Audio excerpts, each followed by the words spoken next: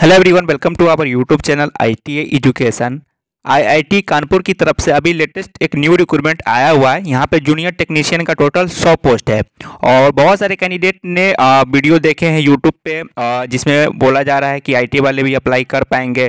या अभी जो शॉर्ट नोटिस आया हुआ था, उसमें मतलब कि क्लियर नहीं लिखा हुआ था। लेकिन बहुत सारे आईटी कैंडिडेट कमेंट कर रहे थे कि, सर, इसके बारे में अपडेट दीजिए, क्या इसमें जूनियर टेक्नीशियन का जो पोस्ट है, इसमें आईटी वाले एलिजिबल होंगे या नहीं होंगे? तो गाइज़ इसका डेट जो था वो आज से स्टार्ट होना था तो फाइनली इसका नोटिफिकेशन आउट हो गया है। तो मैं भी आप लोग को बता दूँगा क्या इसमें आईटी वाले अप्लाई कर पाएँगे कि या नहीं कर पाएँगे गाइज़ देखिए एनआईटी की तरफ़ से जो रिक्रूटमेंट आता है, बहुत सारे जो एन अलग अलग राज्यों में स्थित है, वहाँ की तरफ़ से जो आता है, ये टेक्नीशियन बोल लीजिए या सीनियर टेक्नीशियन बोल लीजिए तो वहाँ आई वालों को मौका मिलता है फॉर्म अप्लाई करने का। ये जो रिक्रूटमेंट है, ये आई कानपुर का रिक्रूटमेंट है। That means Indian Institute of Technology Kanpur का ये रिक्रूटमेंट है। यहाँ पे अलग अलग पोस्ट है अलग अलग क्वालिफिकेशन पे। तो अभी शॉर्ट नोटिस आया हुआ था। आप लोग ने यूट्यूब पे बहुत सारे वीडियो भी देखे होंगे, जहाँ पे आईटी लिखा हुआ है थंबनेल में या बहुत सारे जगहों पे। और शॉर्ट नोटिस में बताया भी नहीं गया था तो बहुत सारे मतलब ये हो गया था कि जूनियर टेक्नीशियन में हो सके तो आई वालों को मौका मिल जाए। लेकिन ऐसा नहीं है, यहाँ पे देख सकते हैं सीरियल नंबर ने पे है जूनियर टेक्नीशियन यहाँ पे अच्छा खासा पोस्ट है टोटल 100 पोस्ट है।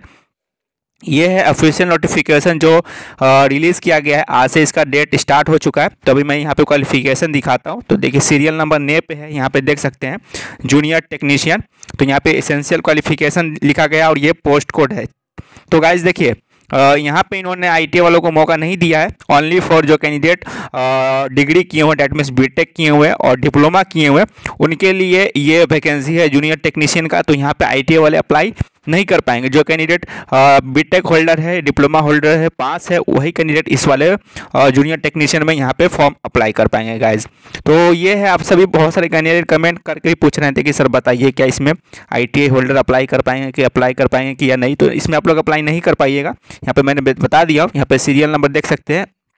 नाइन का जो जूनियर टेक्नीशियन का रिक्वायरमेंट है पोस्ट कोड वाइज यहाँ पे अलग अलग ब्रांच वाइज इन्होंने मांग रखा है क्वालिफिकेशन या डिग्री पास रहना चाहिए, यानी कि बीटेक या डिप्लोमा देखिए एनआईटी का रिक्वायरमेंट आता है। एनआईटी के बहुत सारे कॉलेज में जो है रिक्वायरमेंट वहाँ पे, जो नॉन टीचिंग का पोस्ट होता है, और टेक्नीशियन बोल लीजिए या सीनियर टेक्नीशियन बोल लीजिए, वहाँ पे डिप्लोमा वालों को भी मौका मिलता है और आईटी वालों को भी मौका मिलता है और बीटेक वालों को भी मौका मिलता है।